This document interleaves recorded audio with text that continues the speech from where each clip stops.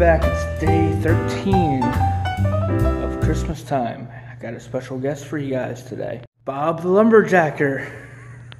Hello, everybody. I'm Bob, and I'm here just to talk about a couple of Christmas traditions that I do with my family. Um, one that's actually kind of in the past. Uh, it's just the general going to grandmom's house for, for dinner, but it just kind of sticks out because everybody had their special dish they made.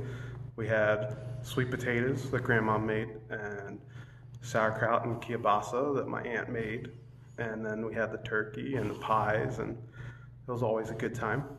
And then um, the second one that I've had in between then and now is uh, my mom and I.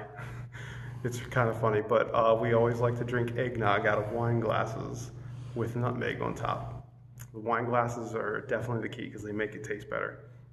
Is that uh, spiked or unspiked? Unspiked, just regular, just regular eggnog with nutmeg on it.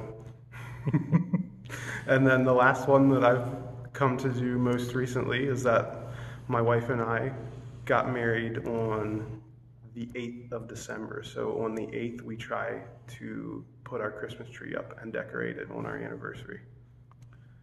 That's Well- the Christmas traditions I've had over the years. Happy belated anniversary. Thank you. Merry Christmas. Ever tried chocolate milk and eggnog yet? Chocolate milk and eggnog. Yeah. I have not, but that sounds divine. It is.